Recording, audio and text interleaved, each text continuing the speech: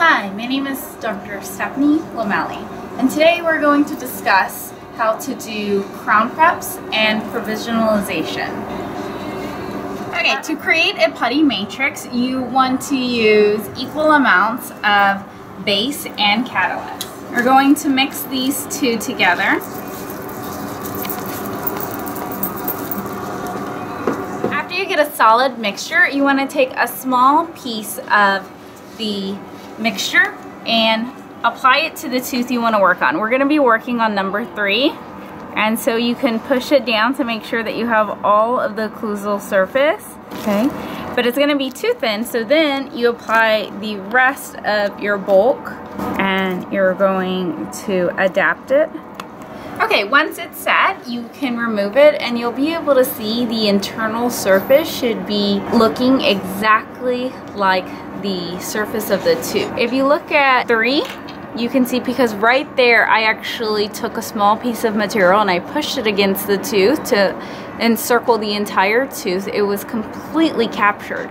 But if you look at two, because that's where I just adapted it, there's a small gapping. Now, the better that it is captured exactly as the tooth is, the less you're gonna have to trim. For an area like that, if we were actually working on two, you would have to trim that off of your provisional. It's ideal if you make two matrices. Then you can use one for your provisional. Then you can use the other one as a reduction guide.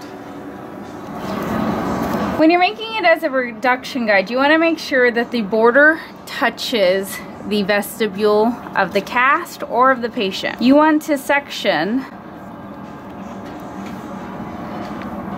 to where you can evaluate multiple aspects. So this is cut into thirds.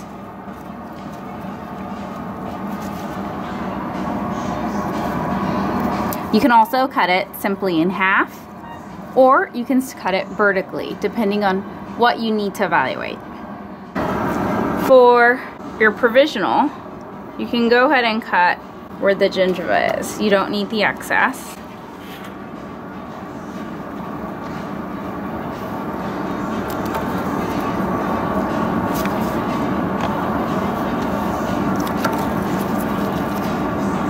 This will allow you to instantly take off all excess material so you don't have to trim as much.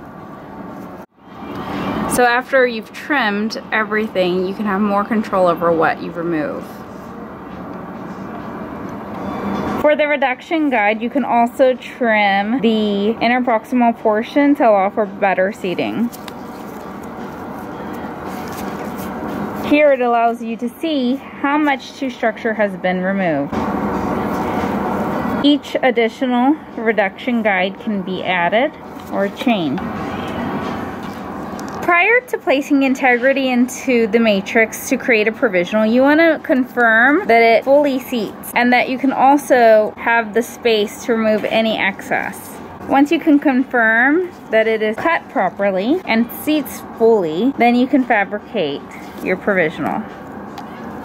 Another form of creating a matrix is bleed off the first amount and to use PVS material or heavy body or you can Regisil Blue Mousse. Insert it fully into the patient's mouth and then you can also have the patient bite. This is how the triple tray matrix comes out. It's very nice because you don't get a lot of excess. It comes right to the margins and the really nice part is how thin it is. You can even see through it. When you fill it with integrity and you insert it intraorally, you ask the patient to bite. When they bite into it, you ask them to bite hard into their normal bite. And that's actually gonna allow for it to be both fully seated, but also for them to be biting in their normal form, leading to less occlusal reduction, which means faster provisional. Bleed off a small amount and then apply the rest into your putty matrix. Another method you can do is to apply a small amount to the margin. Then you're going to seat and wait a minute. Okay, so you want to test it Intraorally, keep in mind that you only want to have it in the mouth for about 60 seconds. Extra orally, that time's gonna be slightly different. Once this material has set enough, you can simply drag your Explorer under and lift off. Okay. And you can do the same on the lingual. That simply flicks off. Keep in mind, without having the excess cut off, that is what you would have had to drill off. Now you can remove and the provisional should remove. Another technique also to ensure that you don't get locked into the undercuts is when you have it in that one minute period is to seat and unseat your provisional. So that would be you would like lift up very small. So can you see how this is the only flash that was produced? Now in real life that wouldn't happen because you would have removed it. This is actually the part that smushed between the pink tissue that I could not remove. So that happened because it was a Typodont.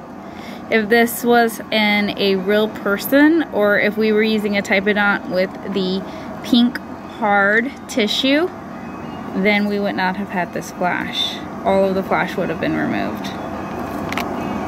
Once the tooth is set, you can pull on the matrix to release it. So you want to use a red pencil to trace the internal line angle and you want to trim back until that marking. You can do that for, for everywhere where there's flash. Avoiding the contact, you can trim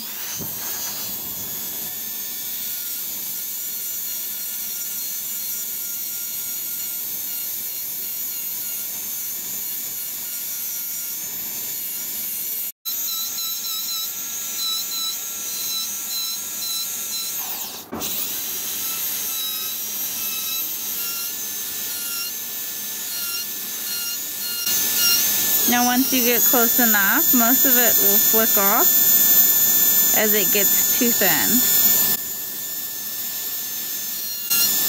And I'm holding it kind of at a 45 degree angle. And then once it flicks off, you're at the proper dimension. So alternatively, you can also use a Sof-Lex disc avoiding the contact. So I'm trying not to touch right there, right in the center. Okay, so I've come from this angle and I've come from this side, but I've avoided touching the center. Now, in a big bulbous spot like that, again, it's a little bit bigger, still flicks off.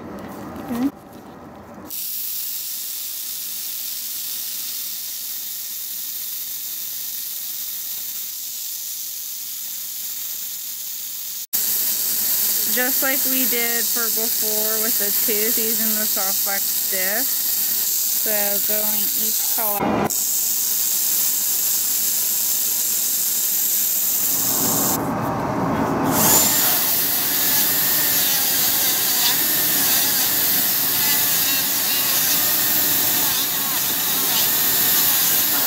See how shiny that gets?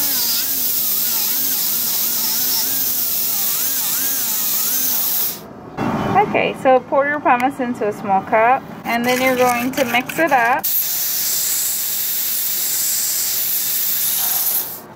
Make sure that you remove any of the blockout wax if you are doing this in SimLab or intraorally. You can use a scaler.